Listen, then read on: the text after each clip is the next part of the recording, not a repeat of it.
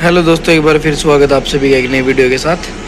तो भी जैसा कि आप सभी देख रहे हैं, ये हमारी Ape Alfa B S three या बी एस फोर गाड़ी, इन सभी गाड़ियों में एक प्लेट आती है, जो हमारे गियर बॉक्स को अटैच करती है स्टड इसके अंदर क्या फॉल्ट है कि इसके अंदर एक रोलर बैरिंग लगता है, अट्ठाईस, बीस, आप सभी को पता भी होगा इसका नंबर वो लूज हो चुका है इसके अंदर।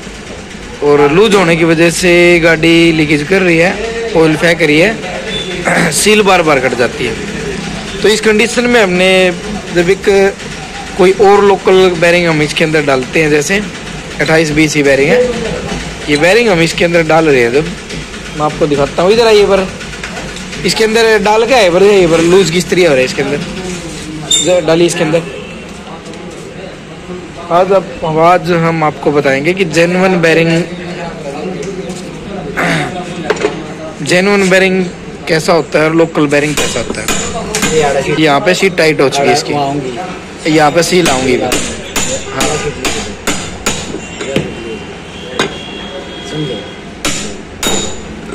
तो आपने सभी ने देखा भाई बैरिंग डालते डालते पूरा यहाँ पर एक जगह जगह टाइट हो चुका था, फिर एकदम से नीचे चला गया। ये इसके अंदर बैरिंग था। ये जमा इसके अंदर, ये तो बहुत ज़्यादा लूज था, लेकिन ये थोड़ा बहुत लूज नहीं था। और अब इसके अंदर हम ओरिजिनल बैरिंग डाल के दिखाएँगे और उसकी सीट दिखाएँगे कैसे टाइट रहती है, नहीं रहती है तो आप इस वीडियो में एंड तक बने रहे। तो भी दोस्तों, ये है एन आर बी अट्ठाईस बीस, ओरिजिनल बैरिंग है। अब इसको हम डालेंगे और देखेंगे क्या सीट का साइज़ टाइट होता है, नहीं होता क्योंकि काफ़ी बार हमने एनआरबी का ही डाला है, तब जाके तो वहाँ पर तो टाइट हो जाता था। आज आपको लाइव दिखाएँगे।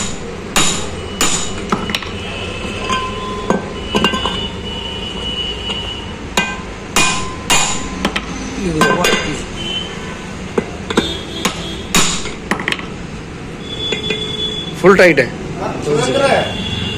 तो भाई देखो, जब भी आप ऐसे ऐसे बैरिंग डालो ना 28 बीस वगैरह तो यहाँ पर आपने एनआरबी का यूज़ करना, क्योंकि आपने पिछली, पिछला बैरिंग भी देखा था और ये बैरिंग भी देख लिया। दोनों की सीट में बहुत ज़्यादा फ़र्क होता है।